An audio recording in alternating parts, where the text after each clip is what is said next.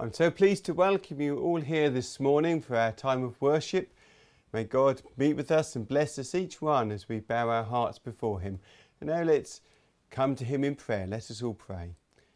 Kind and ever gracious Lord God, our loving Father, we would humble ourselves in Thy most awesome presence.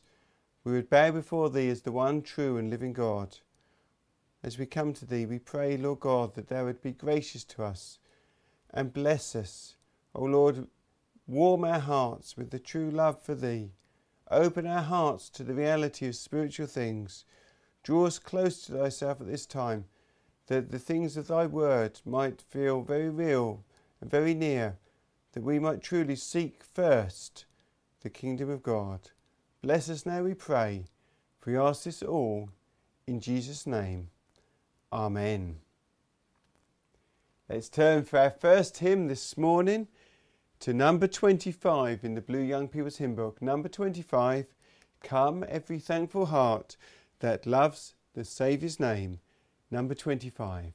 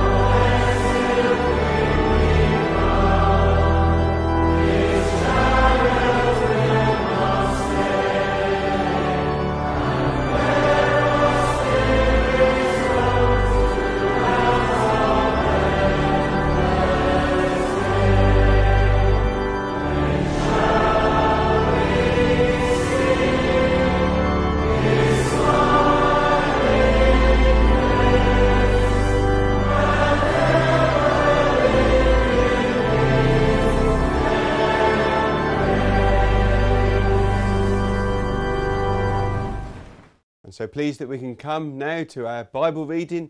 We're turning back to the book in the Old Testament which we've been looking at in our Sunday school lessons in recent weeks, to the book of the prophet Jonah.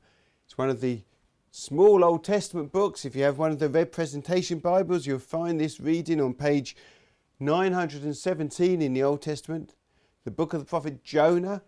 And we're going to read from chapter 1, verse 17, which is the final verse of chapter 1 and then down into chapter 2. Now the Lord had prepared a great fish to swallow up Jonah, and Jonah was in the belly of the fish three days and three nights. Then Jonah prayed unto the Lord his God out of the fish's belly, and said, I cried by reason of mine affliction unto the Lord, And he heard me. Out of the belly of hell cried I, and thou heardest my voice. For thou hadst cast me into the deep, in the midst of the seas, and the floods compassed me about. All thy billows and thy waves passed over me. Then I said, I am cast out of thy sight, yet I will look again toward thy holy temple. The waters compassed me about, even to the soul. The depths closed me round about, the weeds were wrapped about my head.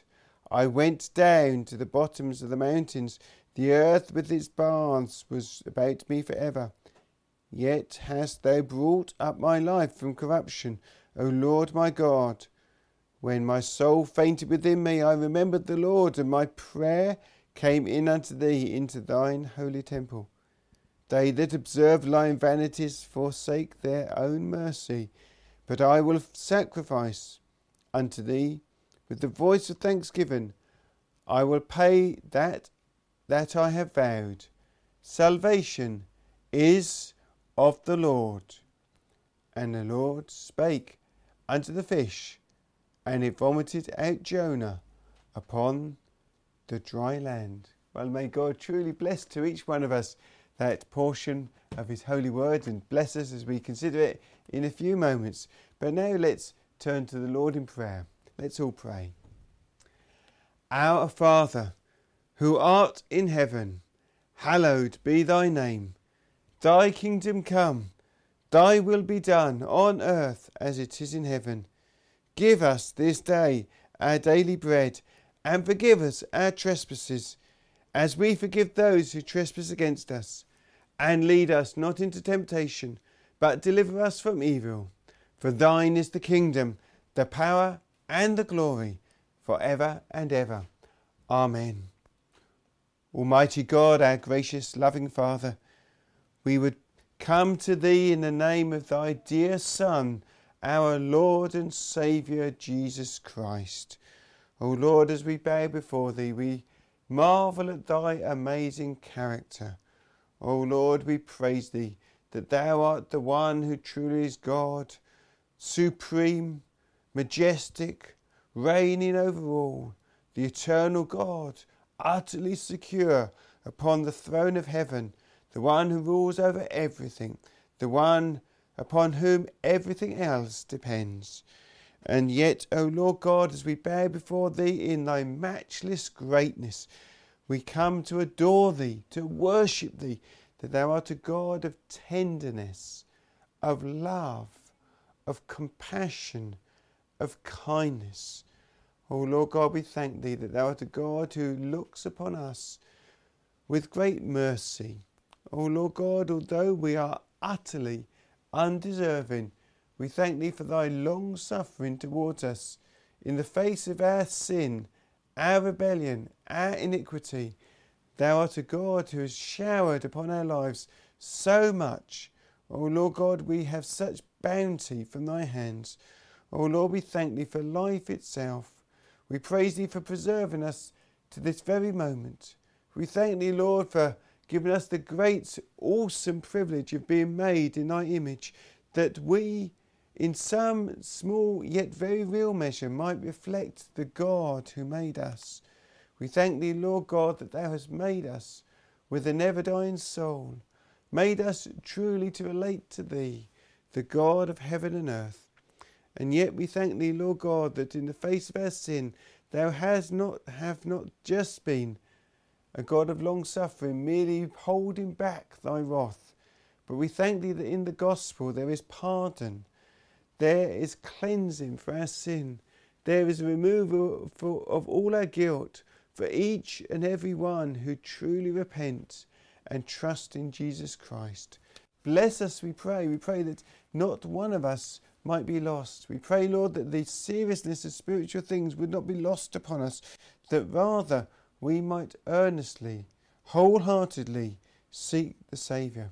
We pray, Lord God, that even this day, even this morning, might be the hour for one or another soul who has never come to the Saviour, that this might be the day, the hour when they might come to Jesus Christ.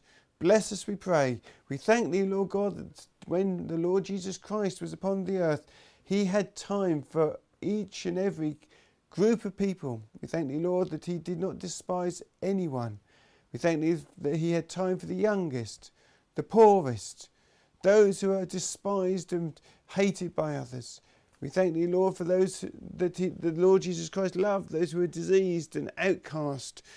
And we praise thee that the Lord Jesus Christ, with great joy, welcome them to him, that he might receive them and cleanse them and pardon them and restore them. Most of all, to restore them to God, that they might have a living, true relationship with God in Jesus Christ. Oh Lord, we pray that might be the experience of each and every one of us. And Lord, as we come to Thee, we pray that Thou bless us each. We thank Thee, Lord, Thou art God who does care. Help us in all our earthly needs to commit them to God in prayer. We thank Thee, Lord, for those who have had answers to prayer over the past week. We pray, Lord God, for those who may be going through continuing difficult times of stress and heartache, who may be mourning and grieved. Lord, be close to those. Help each one of us in our time of need to look to God in prayer. Oh Lord, help us not to turn to despair or turn just to our own resources, but to rely hard upon Thee. Bless us each one, we pray. We pray, Lord God, for uh, those we love, those who may be far from us. We pray, Lord God, for those who we may have who pray, may have brought to Thee many times in prayer, that They would draw them to Thyself and save them. We pray, Lord God, that They would help us and meet with us now. Bless at times when we consider thy words, help those who teach the young, help us each to listen. We pray, Lord God, that thou give us a teachable spirit, soften our hard hearts, open our spiritual eyes, and stop our ears. And we pray, Lord God, that the things of God might be made a blessing to each and every one. May the kingdom of God be built even this day, built in our lives that we might advance in the things of God and might be built wherever the gospel of Jesus Christ is set forth. Bless us at this time, we pray. We ask this all in Jesus' name. Amen. Come now to our next hymn, which is number 23. Number 23 Jesus shall reign where'er the sun doth his successive journeys run. Number 23.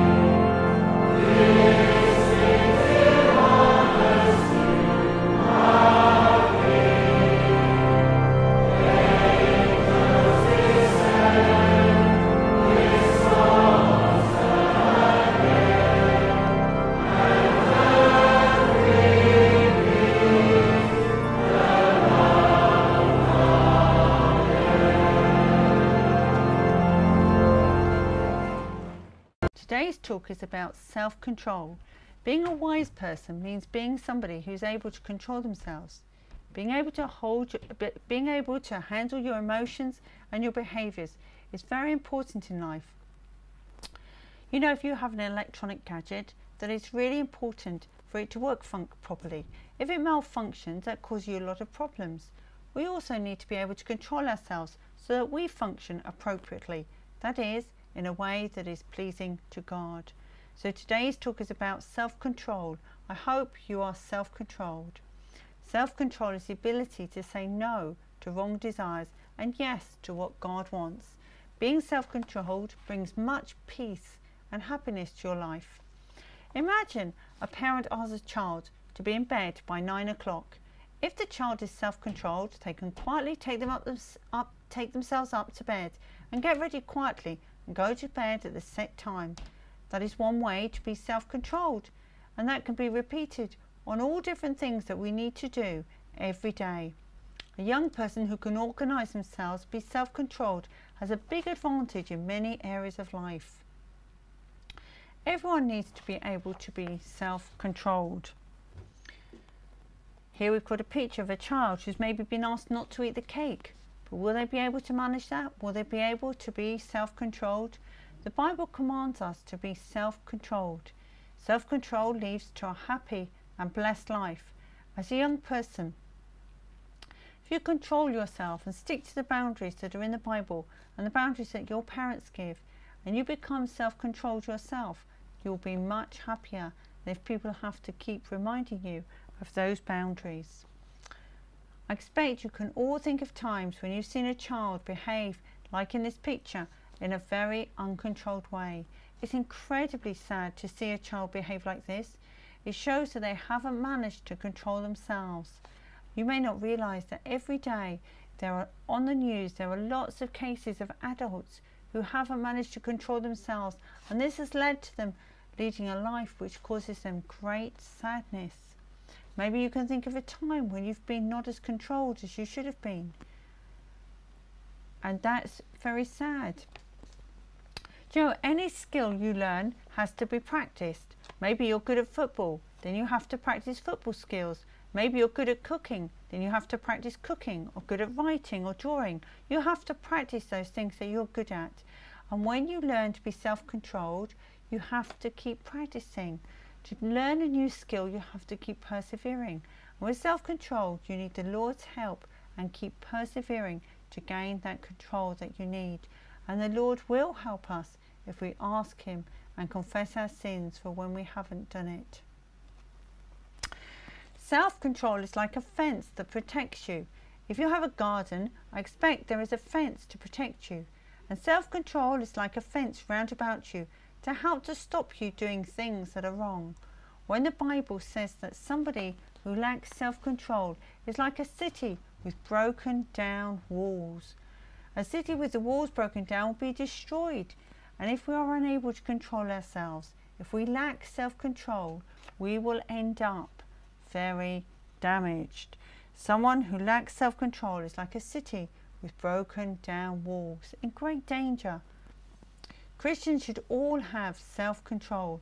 It is a sign that somebody is a Christian if they are self-controlled. The Bible tells us about the fruits that Christians should have to show that they are a Christian. If you plant an apple tree, you get apples. If somebody is a Christian, there are fruits that people should see in their lives. The fruits of love, joy, peace, patience, long-suffering, gentleness, goodness, self-control or temperance. Our Bible sometimes say it means the same thing, self-control. We should be self-controlled in our lives, just as you expect grapes to grow on a vine. You expect self-control in somebody who is a Christian. There are many examples in the Bible of different people who showed self-control. Jesus, of course, is the best example. Jesus showed great self-control through his life in all different situations. When people were unkind to him, he always turned the other cheek. He was always a peacemaker. He always tried to be kind to other people. But Jesus showed great self-control when he was tempted in the desert. Look at this picture. It looks like stones, but they're actually bread, a bit like pita bread. When Jesus was in the desert, one day he had fasted for 40 days and 40 nights. The devil came to him, tempted him to change one of the stones in the desert to bread. And Jesus must have been so hungry. And he could have so easily done that. But it wouldn't be right because that miracle would have been just to please himself. And so he didn't do that. And yet, that showed what great self control the Lord Jesus Christ had. He was tempted to change those stones to bread, but he resisted that temptation because he had great self control. Someone else in the Bible who has great self control is King David. David wasn't king at the time, but David showed great self control when he spared the life of his enemy, King Saul. King Saul had been very unkind to David. Many a time King Saul had tried to take David's life. David had had to run away from him. And then one day there was an opportunity for David to kill King Saul. And his friends said to him, Go on, here's the opportunity, kill King Saul. But David said, How can I do such a wicked thing and kill King Saul? What he did was took a tiny bit off the bottom of his clothes and showed it to him to show him how close he was and how much self control he'd exercised in not killing his enemy. So David was very self controlled. Someone else in the Bible who we read is very self controlled is Joseph. Remember Joseph who had that multicoloured coat? He was very self controlled throughout his life. You think about when his brothers were unkind to him. We don't read that he retaliated. Think about when he was in Potiphar's house. He behaved himself very, very, very well. He was very controlled. And sadly, people mistreated him. And when he was mistreated, he even then was self controlled. When he was thrown into prison, he controlled himself and worked hard, was responsible. Many different times during his life, even later on when he met his brothers again. He wasn't cruel to them, he exerted great self control and was kind to them.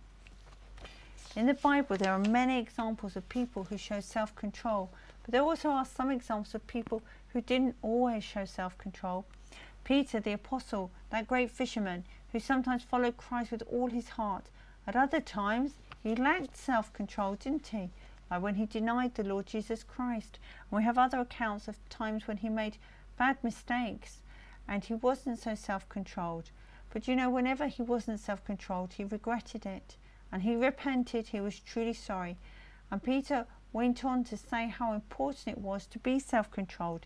In his epistle and the letter that he wrote towards the end of his life, he said how important it is to become self controlled, how important it is to follow after Christ. And if we've realized that we haven't always been as self controlled as we should be, we need to ask the Lord God to forgive us to forgive us for when we haven't had that self control, when we've said or done things without thinking. I need to ask the Lord to forgive us and to help us this week to become more self controlled. So I want you to remember that a wise person is a self controlled person. God wants us to follow the Lord Jesus Christ. He wants us to confess our sins and to be like the Lord Jesus Christ and to be self controlled. Remember, though, we can only become self controlled with God's help and by practicing. Practicing to do what's right and good. So ask the Lord to help you this week to be self controlled. Thank you. Thank you so much for that talk. And of course, in a moment, we come to our Sunday school lesson from the uh, book of the prophet Jonah. We look forward to that lesson and pray that God will bless it to each one of us. I would, of course, Remind you that we meet this evening at Repton Connect. It's great to see each one who meets with us on that occasion. I would encourage as many as possible to gather with us Sunday evening if you are able. And of course, I remind you as well that in a few weeks' time we will start again our morning worship back at the school in September at the usual time of 9:30. But now let's turn to our next hymn, following which we have the Sunday school lesson. Our next hymn is number nine, God who made the earth, the air, the sky, the sea. Number nine.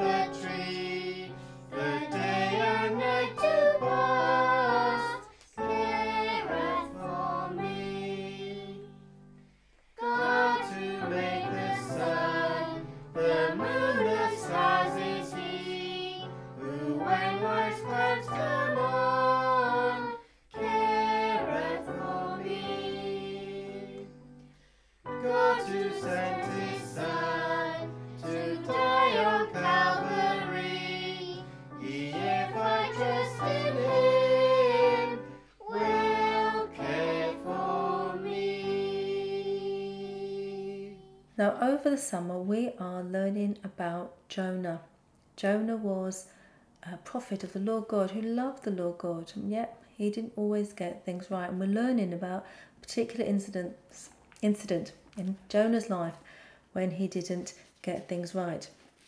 You can read about Jonah in your Bible. There's a book in your Bibles called the Book of Jonah. It's very short, literally is just three pages in my Bible. So, those of you who are at junior school or older, you definitely should be able to read the whole of the book of Jonah. If you want to find it in your Bible, Jonah comes a little way before the New Testament. In my Bible, it's about 40 pages before the New Testament starts. If you just flip over a few pages, you will find there's the New Testament, which is a little way back. My uh, encouragement to you is to read the whole of the book of Jonah because it's not very long at all. So, two weeks ago, we started and we learned about the fact that God had a message for Jonah.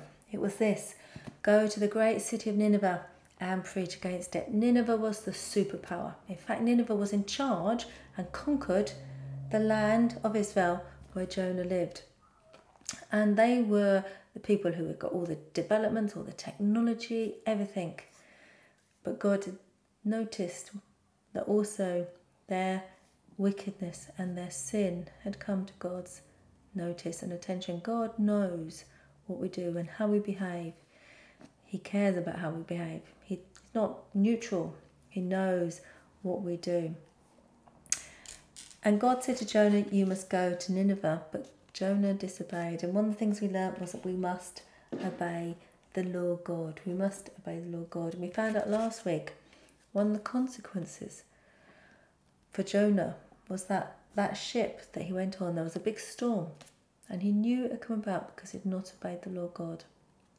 That trouble came because he had not followed God's instruction, had gone in the opposite direction, not gone to Nineveh, had gone or tried to go to Tars- Tarshish. And he said to the sailors, Throw me overboard. The sailors were terrified about doing that. They knew he would die if he went in the sea. We know the sea can be dangerous. We live in an island, the sea is all around us, and every summer, including this summer, we get notices, things on the news saying be careful when you go to the seaside. Even if it's sunny and the sea is calm, the sea can be dangerous. Think how much more dangerous, therefore, the sea is in the middle of a storm when you're in the middle of the sea. If you go overboard, you can't read many accounts of many people where that's happened, and the reason is because they die very quickly. Um, accounts tell us often that the water is so cold, people can't live more than a minute or a couple of minutes, and, and they sadly die. So you can't read many, many accounts of people who survived going into the sea at any point, even in the calm. Um, the sea is a dangerous place. But Jonah was thrown overboard, and immediately it became calm. Those sailors were affected by that. And we learn that God is in control because God knew exactly where Jonah was, and God knew and cared for Jonah. And God sent a large fish, and the fish swallowed Jonah. Jonah didn't die. That was amazing. That is God's kindness. In the middle of disaster, in the middle of trouble, God kept Jonah safe. Isn't that a lesson for us this year in 2020? With the COVID 19, that danger, that fear of the unknown, we need to remember that God is in control and God cares and God provides for us, even though things may seem very difficult. Jonah gives us an example of what we need to do in those difficult times when it all seems very dark. I expect when Jonah sort of came to and he realised I'm in the middle of a fish, the fish would been very dark inside, and if you would have thought, cool, there's all that water on the outside, he realised that God had saved him. He realised that God had not allowed him to die, and he did what we need to do. And he prayed to the Lord God, and that's when you need to read the book of Jonah, read about the prayer of Jonah. But it started off, In my distress, I called to the Lord. He prayed. And we need to praise the Lord God in our distress and at all times. And God will hear us if we truly come to Him and pray to Him in the right way. Sometimes we say to ourselves, Well, I know I should pray, but what should I pray about? Well, Jonah gives us an example of what we should pray and how we should pray. Well, Jonah talked about the fact that he had gone into the sea. He said, You hurled me into the deep, the sea. No, God hadn't hurled him into the sea. The sailors did that. But Jonah knew that all our circumstances in our life are overruled by God. God brings about the good times and the hard times, and they're all in God's control and they're all there for a purpose. And you can see Jonah's description. As I said, we don't many descriptions of people who've been into the sea, but he talks about he's heard of the very deep. He went down deep in the water. It must have been scary. He must have thought, I'm going to die. It says the currents swirled about me and all the waves and the breakers swept over me. The water was above his head. You may have had that experience, been in the water, maybe you've been to the seaside, and the waves have come over your head. It's a scary experience. It's not a good time, a good thing to experience. And Jonah spoke about that in his prayer to the Lord God. He talked about the seaweed was wrapped around my head. Can you imagine that? All over the place. And he felt as he was going right down, down, deep. He was sinking. He was going to die. But he didn't die because God kept him safe. And it made Jonah think. It made him realise that because he loved the Lord God and trusted the Lord God, he could pray to the Lord God to keep him safe. And God heard him. And it made him reflect those who cling to worthless idols forfeit the grace that could be theirs. Idols can't save us. Grace is God's mercy and love to us in saving us when we don't deserve it. Jonah knew he didn't deserve to be saved. He knew he had disobeyed the Lord God, and yet the Lord God had been very, very kind to him the Lord God had saved him and rescued him. And he knew he could pray that to the Lord God. And Jonah also said something that's very important that we all need to realize. We can't get right with God by being good or trying to reform ourselves. In fact, we can't get right with God by any other way than the way that He has made. And He tells us what that way is. It says, Salvation is from the Lord. The only way we can get right with God is through the Lord Jesus Christ and what the Lord Jesus Christ did when He died on the cross.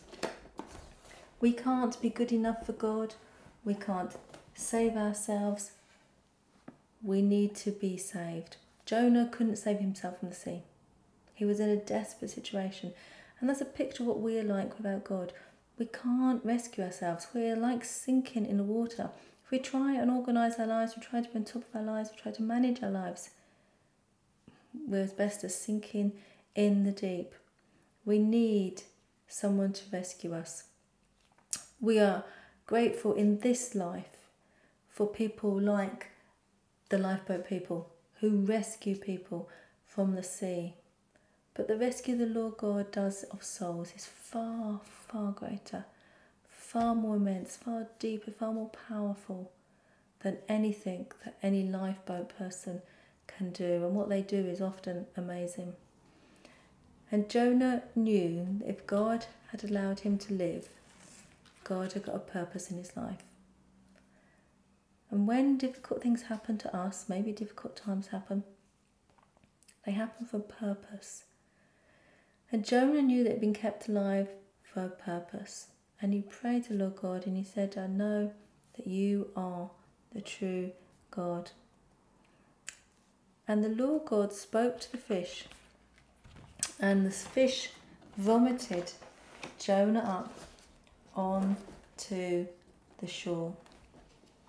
Now, we don't know where that was, but we do know God had something to say to Jonah when he landed on the shore.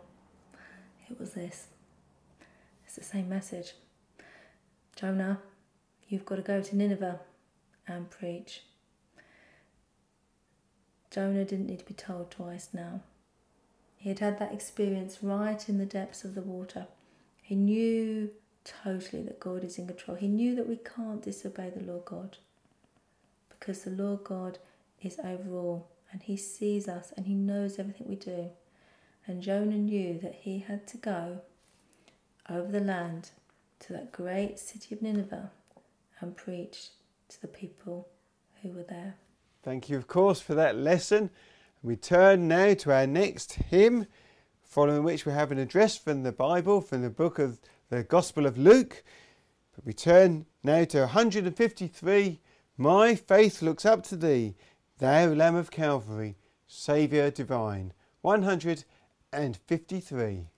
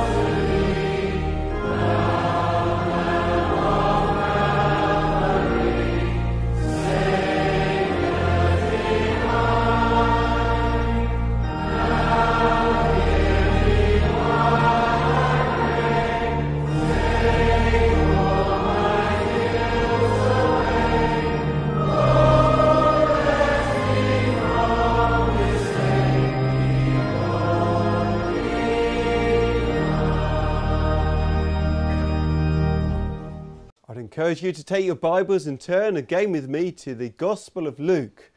Gospel of Luke, chapter 7. If you have one of the Red Presentation Bibles, you'll find our reading on page 74 in the New Testament. As you are all aware, we've been looking at the early ministry of the Lord Jesus Christ, particularly in the region of Galilee.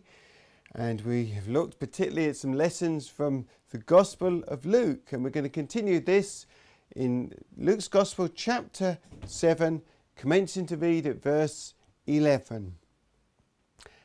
And it came to pass the day after that he, that's the Lord Jesus Christ, went into a city called Nain, and many of his disciples went with him, and much people. And when he came nigh to the gate of the city, behold, there was a dead man carried out, the only son of his mother, and she was a widow and much people of the city was with her. And when the Lord saw her, he had compassion on her and said unto her, Weep not. And he came and touched the bier, and they that bare him stood still. And he said, Young man, I say unto thee, Arise.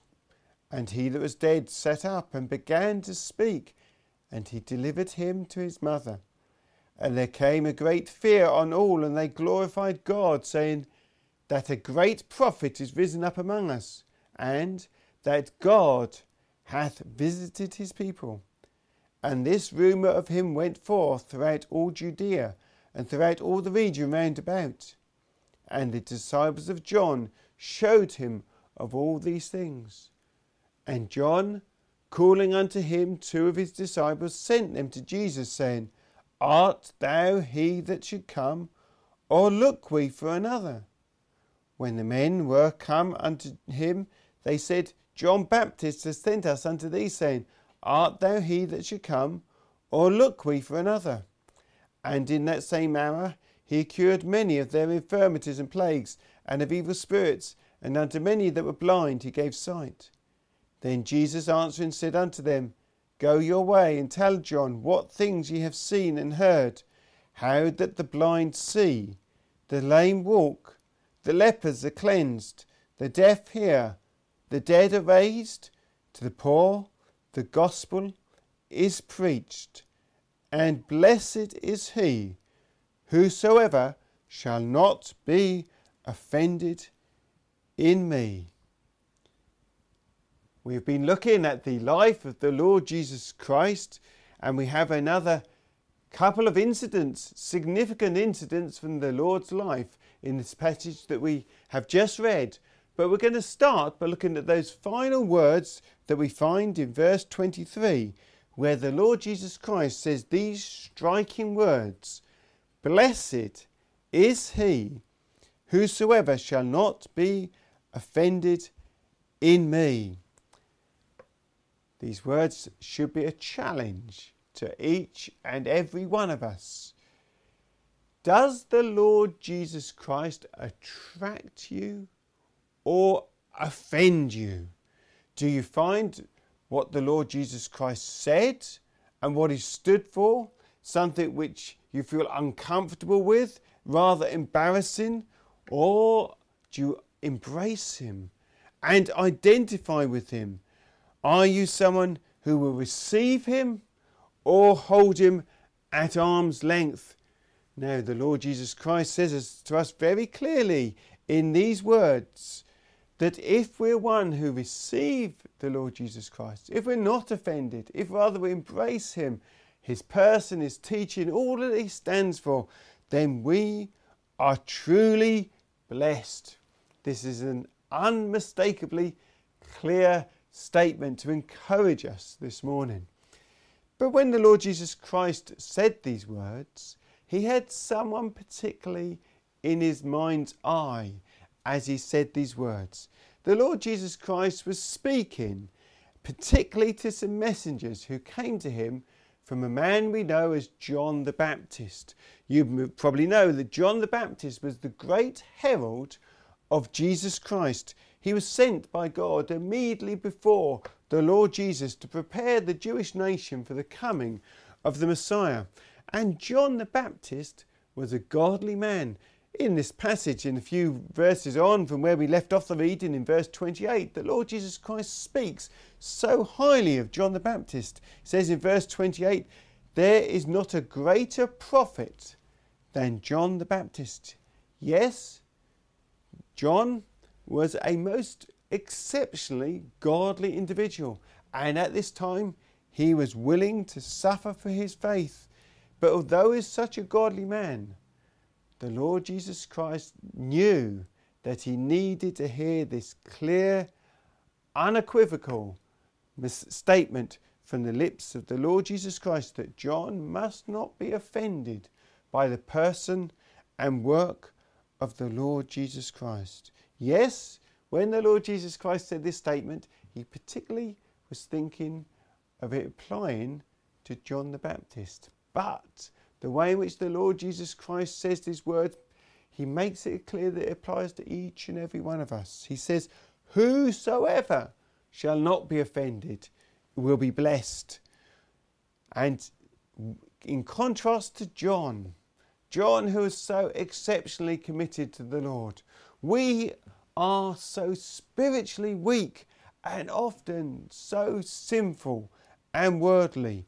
And if this godly man, John the Baptist, needed to be warned that he, gently warned, warned, of course, that he should not be ashamed of the Lord Jesus Christ, then we most certainly need to hear this clear statement from the lips of the Saviour.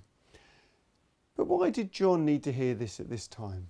Now, when the Lord Jesus Christ spoke these words, John had been arrested. He was in prison, not because he'd done anything wrong, quite the contrary. He was in prison, suffering, isolated, and lonely for standing up for that which was right. And the, John was now in prison, and that imprisonment would eventually end in his execution, in his death. But John had been the one who announced that the Messiah, the Christ, was coming. And all that John said about this coming one, who was the Lord Jesus, was absolutely true. John was a prophet of God and he spoke the word of God. But, like many prophets in the Bible, they spoke what God gave them to say, but they didn't always fully understand the full implications of what God had given them to say. And like many of the Jews of his age, John probably thought that the one who is going to come would come in visible earthly greatness and bring great visible victory to his nation. But then the Lord Jesus Christ appears on the scene. And how does he come? As a king? No, but as a humble preacher. I expect that that must have gradually shocked John. That the one he had announced and pointed to was going about simply as a preacher. Yes, John had spoken of the greatness of the Lord Jesus Christ who was coming. He said words like this The axe is laid to the root of the tree, and every tree that does not bring forth good fruit shall be hewn down and cast into the fire. The trees that do not bear fruit will be destroyed in that way, speaking of those who do not bring good, forth good fruit to God. He spoke of the Christ who would come, would be one who baptizes with the Holy Spirit, yes, but also baptize with fire. He would gather the wheat into his barn or his garner, but would burn up the chaff with unquenchable fire. And yet, these words speak on the one hand of greatness, and yet the Lord Jesus Christ comes so gently so calmly, not as a great visible uh, earthly king or victor as some might have imagined. And perhaps we might be tempted in the same way to doubt Jesus Christ. We might be tempted to question that he is truly the great one of whom the Bible speaks. After all, we might think, why isn't everyone a Christian? In fact, true faith is in a minority, and many people despise the Lord Jesus Christ and the Word of God and the gospel. Outwardly, it might seem that the gospel is not triumphing. And then John might also wonder this why am I locked up in prison if the Lord Jesus is truly the Christ. Why doesn't he do something about my difficulties? Here I am suffering completely unjustly, and my suffering just does not make sense. And maybe we at times face things we don't understand and we cannot make sense of. And maybe our suffering something that makes us tempt, to be tempted to doubt the Word of God and the Lord Jesus Christ. But even if we do not fully understand, John and us need to hear the words of the Lord Jesus Christ. Blessed is he that shall not be offended in me. We need to trust the Lord Jesus Christ. We need to trust that He's working out everything perfectly, perfectly even in our lives. Our lives are in His hands, and although we may not be able to understand everything, He has it fully in His control. And we need to believe that the Lord Jesus Christ truly is the great one sent from God, even if many at this stage do not believe upon him. What John said of the Lord Jesus Christ being truly great is absolutely true. But John didn't see that the Lord Jesus Christ didn't appreciate at first that the Lord Jesus Christ would come for the first time in a humble way, but he's going to come again a second time when every knee will bow before him, when those who reject him will be humbled. But we need to realize that, yes, a day is coming when those who have not yet bowed the knee to the Saviour will then all be brought before him as their great judge. Well, we start off with that encouragement, that rebuke, that warning of that final verse of the Lord Jesus Christ that we need to stand firm and not be offended by who the Lord Jesus Christ is, but rather receive him and embrace him and all that he stands for. That's how the passage ends, but this passage starts in a very different way in verse 11 where we read of one of the mightiest, one of the greatest miracles of the Lord Jesus Christ. The Lord Jesus Christ is still in the region of Galilee. He's not on the shores of the lake, but he's travelling to a city or town called Nain. He's accompanied by a crowd. There are his disciples round about him, but many other people. And you can well imagine that that crowd was a crowd full of joy, people hanging on the uh, on every word of the Lord Jesus Christ, feeling so privileged to be with the Saviour, wanting to learn of Him, wanting to see maybe another miracle that He would do. And yet, as they come to this city, they're about to go into the city, they meet another crowd going in the opposite direction. And the emotional state of that crowd is so different. Unlike the crowd with the Lord Jesus Christ, the crowd coming out of the city of Nain is overwhelmingly sad. They are a crowd full of mourners. They're going to a burial for someone who has just died. And we might say, in a sense, that those two crowds do picture those who are with Christ and those who are of the world. It might, at times, you might be tempted to think that the world has so much to offer, and yet, in the final analysis, those who are truly blessed are those who are with the Lord Jesus Christ, who are one with Him and not those who ultimately reap the sadness of sin and this world. Yes, the crowd that's coming out of the town of which we read in verse 12 is on their way to a burial. A death has occurred. And any death is sad. Of course it is. But this death is particularly sad. We read in verse 12 Behold, there was a dead man carried out, the only son of his mother, and she was a widow, and much people of the city was with her. A man has died, not an old man, not a man who's died of old age, a man who's had many years. No, this is a young man not a child, not someone who's died in those early vulnerable years. No, he's successfully come through those years. He's got to the prime of his life and he's been struck down. How sad that is. And then turn your eyes away from the corpse, the dead body, to the family following. And how small that family is. It's just one person, just a widow woman. Yes, she's a widow. Her husband is, has already died, and she has just this one son, and he has now died. I'm sure that that son was her joy, her hope.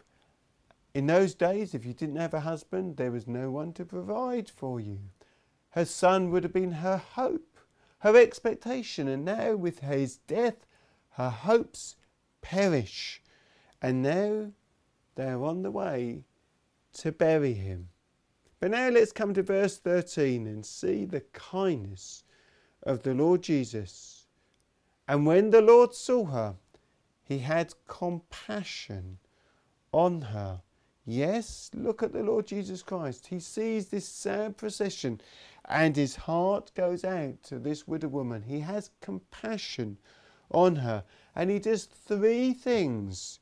Firstly, he speaks to her. Verse 13, he said unto her, Weep not, don't cry.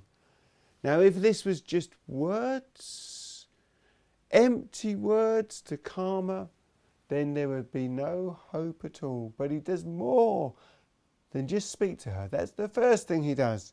But then, secondly, we read in verse 14 he came and touched the bier, that is the couch or the stretcher on which the dead body was lying. And they that bare him stood still. Clearly, the people carrying the corpse realized that Lord Jesus Christ is just about to do something or say something.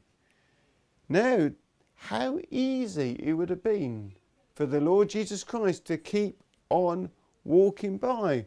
He didn't need to say something, he didn't need to stop, and yet there was a willingness on his part to be involved in this lady at a time of deepest grief. Isn't it a surprise? He's not afraid to be contaminated. He knows he won't be contaminated by disease or death or sin. In the Old Testament, the Jews wouldn't have anything to do with dead bodies for fear of becoming unclean. And yet the Lord Jesus Christ isn't held back by that. But then the Lord Jesus Christ does something yet more strange. We read again in verse 14, second half of verse 14. And he said, Young man, I say unto thee, arise. How strange to speak to a dead body, to speak in a way that everyone knew without any doubt that he was speaking to that dead body. He makes it clear, Young man, I say unto thee, arise. Everyone knew who he was speaking to, and yet a dead man cannot hear, let alone arise, because he's dead. But the words of the Lord Jesus Christ, yes, they speak of his love and his compassion, but then the action speaks of his power. How kindly those words are, but how empty and false it would be if the Lord Jesus Christ just said words and there was no action to back it up. But the Lord Jesus Christ speaks words with power. He commands that young man to arise, and the young man both sits up and begins to speak. Verse 15 And he that was dead, dead sat up and began to speak, and he that's the Lord Jesus delivered him to his mother. He sits up, he speaks, he walks now back to his mother. He is fully, completely restored to life and health. What love on the one hand, what power on the other hand. But notice, before we go any further, where did the initiative come from? Who decided to act? It was Jesus Christ Himself. It came from Him, His heart, His decision, His initiative. Yes, many, many people came to Jesus, decided to come to Jesus Christ for help and healing. They had heard of him in the past, maybe they'd seen previous miracles that he'd done, and they thought, maybe he will help me. And yet, in this instance, no one brought this young man to the Lord Jesus Christ. The Lord Jesus Christ was just walking past. Never had he raised someone from the dead.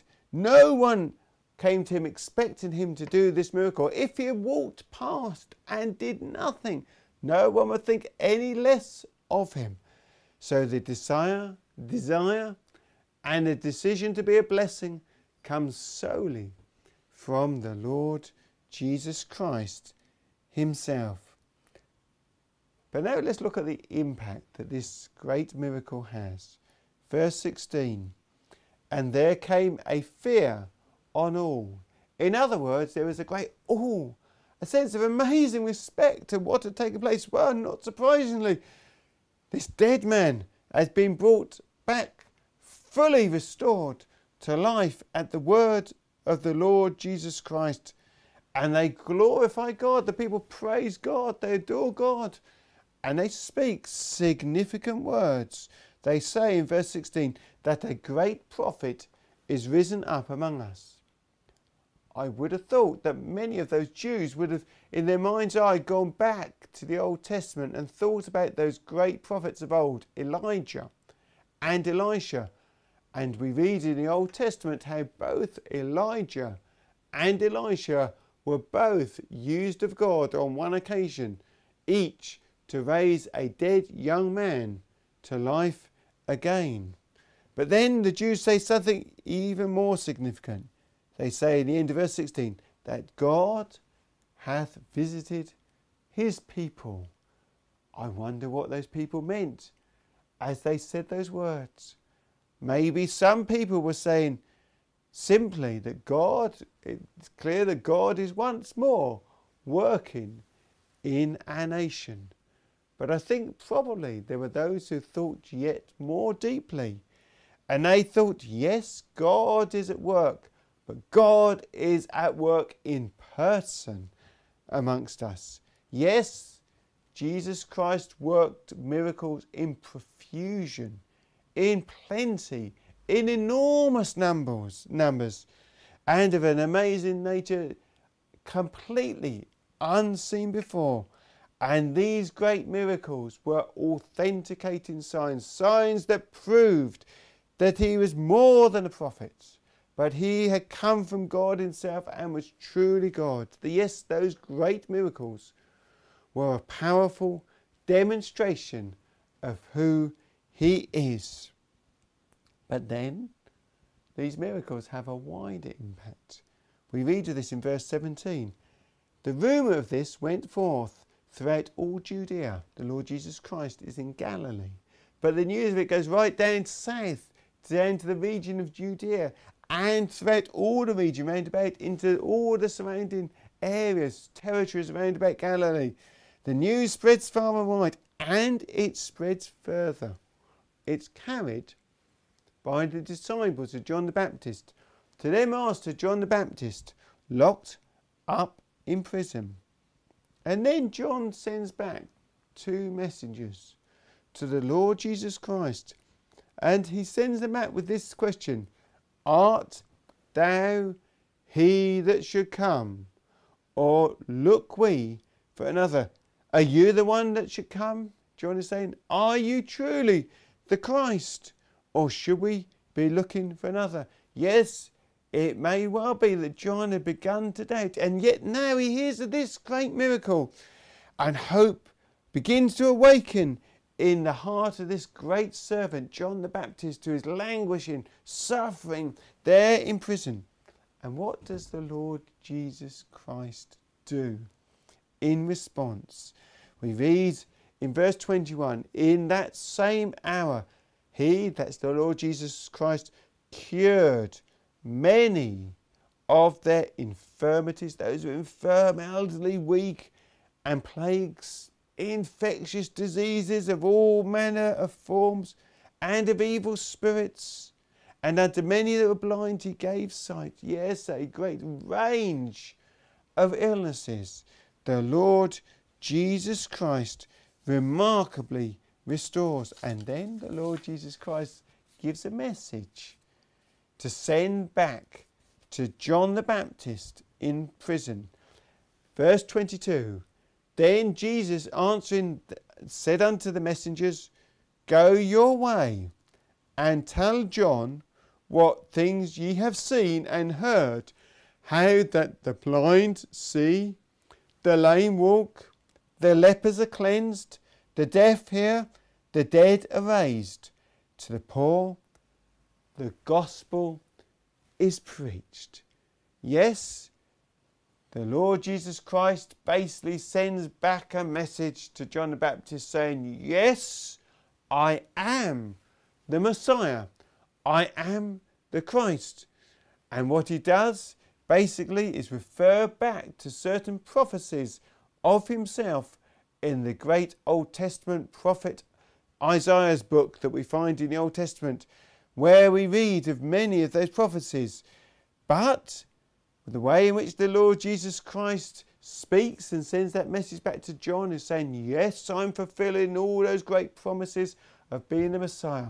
But when I fulfill them, I fulfill those promises in a greater way than even the prophecies themselves. Yes, those prophecies mention the blind being made to see, the lame to walk, the deaf to hear, but there's Certainly nothing in his prophecies of the lepers being cleansed, and nothing about the dead being raised to life again. Yes, Jesus Christ, in his great miracles, provides ample evidence that he is the Christ, the promised one of old, the one who's come from God and in whom all the promises, all the purposes of God are about to be fulfilled.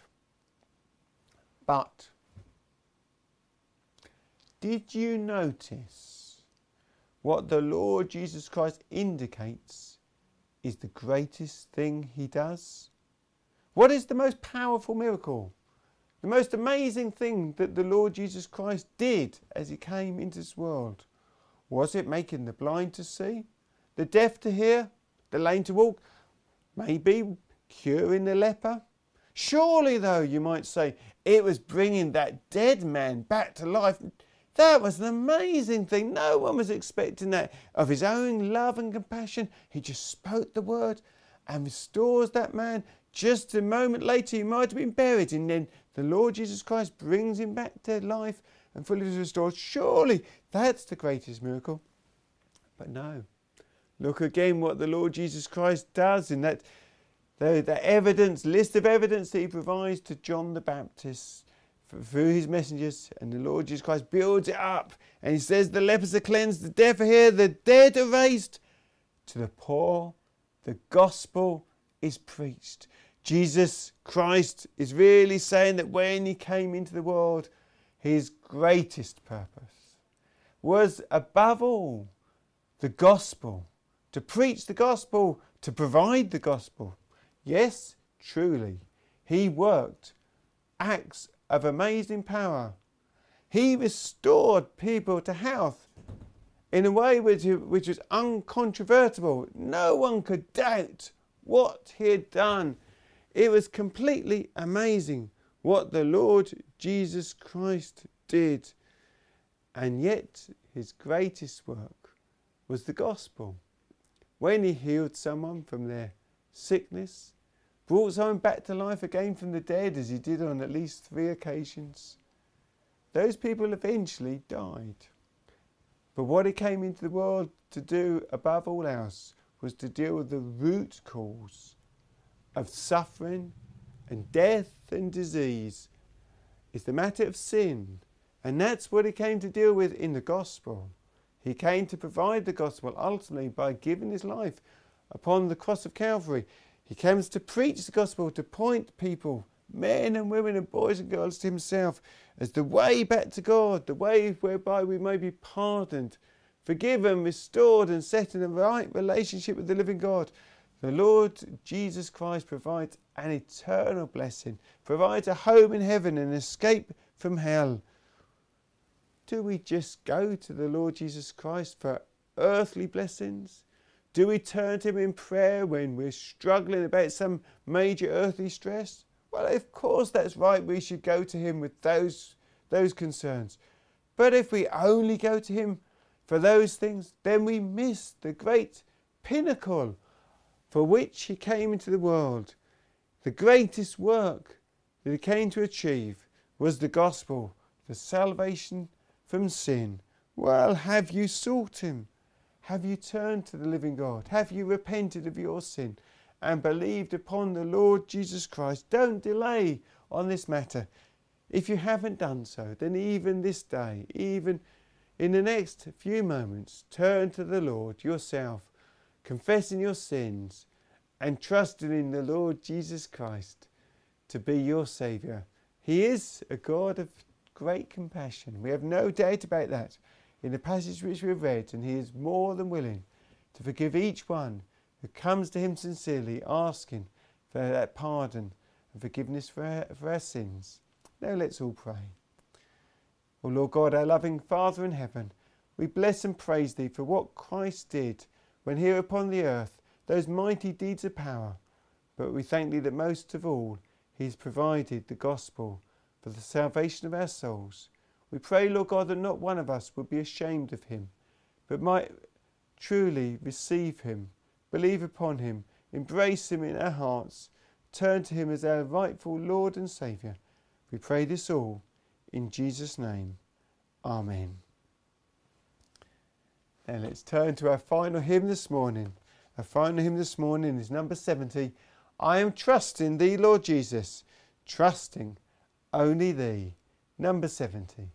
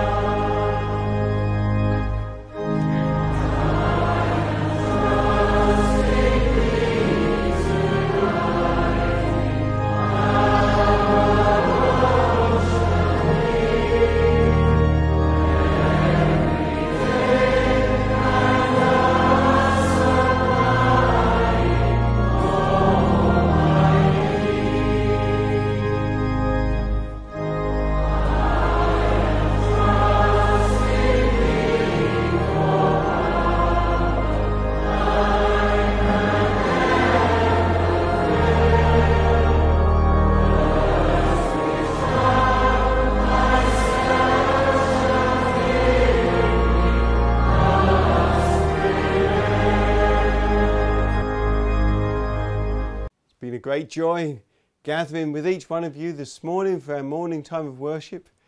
But let's now commit to all that we've been able to do this morning to the Lord in prayer. Gracious God, our Father, we thank and bless Thee for this time we've had around Thy Word, this time to worship the living God. Bless all that has taken place, forgive all that Thou hast seen amiss. And now may the grace of the Lord Jesus Christ, our Saviour, and the love of God our Heavenly Father, and the fellowship of God the Holy Spirit be with each one of us, now and evermore. Amen.